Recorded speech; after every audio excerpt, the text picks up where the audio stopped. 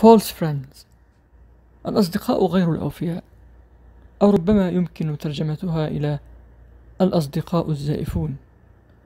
وهذه ظاهرة شائعة في الترجمة. وتحدث حين توجد كلمة لها نفس الرسم ولكن بمعان مختلفة. same word in two or more languages having similar form but different meaning. مثل كلمة برافو التي تعني أحسنت في اللغة الإنجليزية. وقد اقترضت من اللغة الفرنسية بالمعنى نفسه ولكنها ظهرت في اللغة الإسبانية بمعنى مختلف. برافو تورو. وهنا تعني شجاع ثور شجاع أو هائج.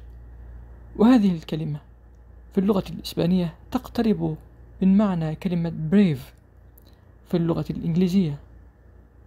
وفي اللغة البرتغالية تعني غاضب وفي بعض السياقات شجاع.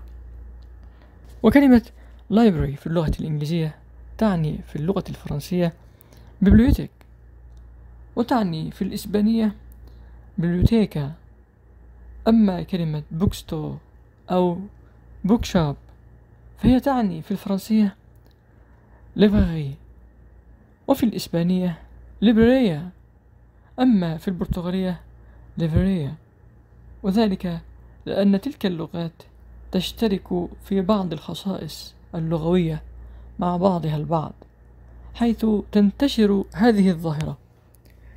False friends بين اللغات التي تنتمي لعائلة لغوية واحدة كاللغات الأوروبية التي تتبع العائلة الكبرى.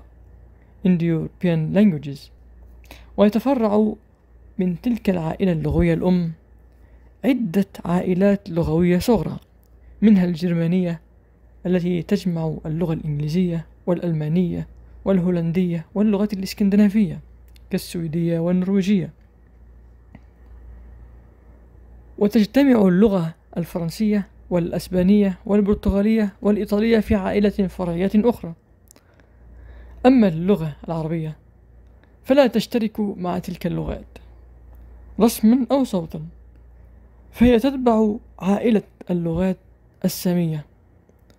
وقد ذكر بعض علماء اللغة أن هناك قواسم مشتركة بين اللغة العربية والإنجليزية وذكروا بعض الكلمات التي تشترك في نفس الجذور مثل كلمة ألكحول وكلمة الجبرا ولكن لن نجد ظاهرة false friends الأصدقاء غير الوفياء إلا نادرا بين اللغة العربية واللغة الإنجليزية.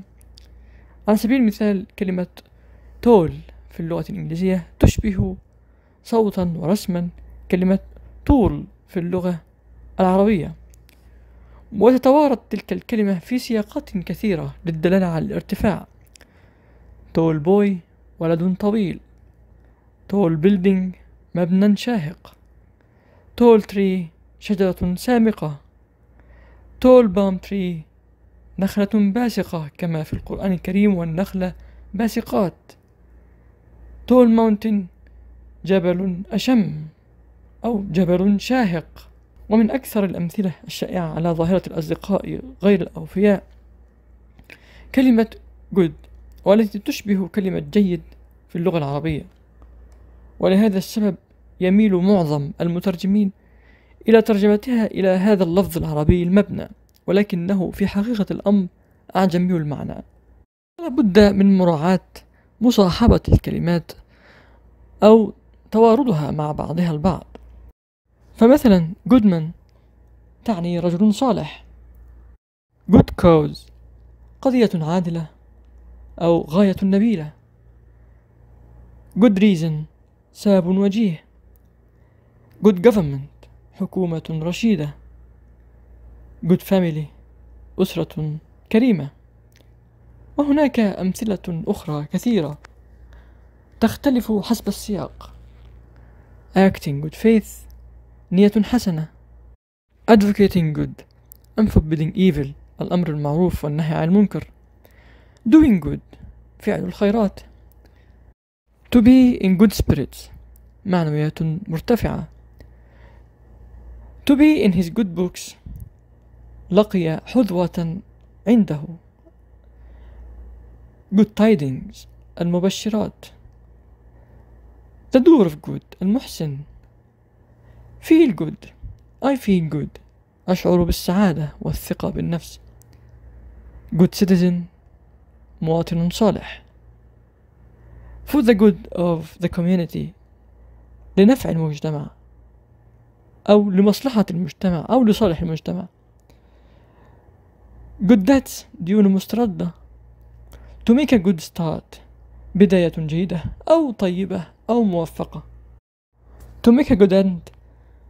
نهاية أو خاتمة سعيدة أو حسنة. وربما تعني في بعض السياقات يموت معززا مكرما. وأخيرا قد تأتي good للدلالة على الكثرة. أو طول الفترة الزمنية. مثلا a good deal of مقدار كبير. a good while فترة طويلة. وشكرا لكم.